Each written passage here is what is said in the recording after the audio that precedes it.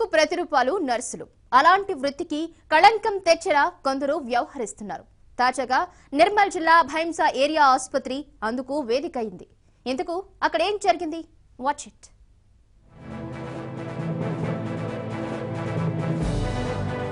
ఇది నిర్మల్ జిల్లా భైంసా ఏరియా ప్రభుత్వ ఆసుపత్రి రిసెప్షన్ కౌంటర్.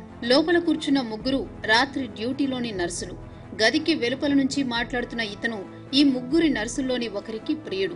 అర్ధరాత్రి పన్నెండు గంటల సమయంలో ఈ యువకుడు రిసెప్షన్ కేంద్రానికి వచ్చాడు. అక్కడ లోపలున్న తన ప్రేయసిని గది బయటకు రావాలని కోరాడు. తన సహ నర్సులు పక్కనే ఉండడంతో అందుకు ఆమె కొంచెం బెట్టు చేసింది.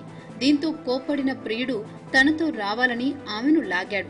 చేయి చేసుకునేందుకు యత్నించాడు. ఈ దృశ్యాలన్నీ అక్కడి సీసీ కెమెరాలు రికార్డయ్యాయి.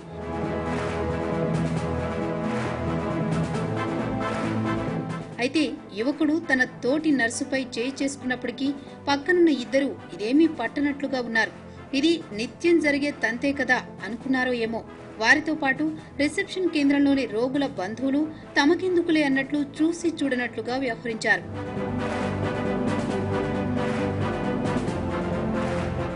హైంసా డివిజన్ వ్యాప్తంగా ఏకైక ఆసుపత్రి కావడంతో ప్రతినిత్యం వందలాది మంది రోగులు వస్తుంటారు.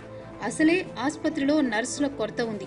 దీనికి తోడు ఉన్నవారిలో కొందరు ఇలాంటి కార్యకలాపాలకు పాల్పడుతూ సీసీ కెమెరాకు చిక్కడంతో ఈ వ్యవహారాన్ని ఆసుపత్రి అధికారులు సీరియస్గా పరిగణిస్తున్నారు మరి డ్యూటీ ఉన్నటువంటి సిస్టర్స్ వాళ్ళు వారికి తెలిసిన వాళ్ళు ఎవరో ఫోన్ చేస్తే మరి పోవడంతో వాళ్ళు వచ్చి హాస్పిటల్లో మన సిస్టర్ తోటి వాగ్విధానం చూస్తూ మరి వాళ్ళిద్దరూ కొట్లాటలు చేసుకోవడం జరిగింది.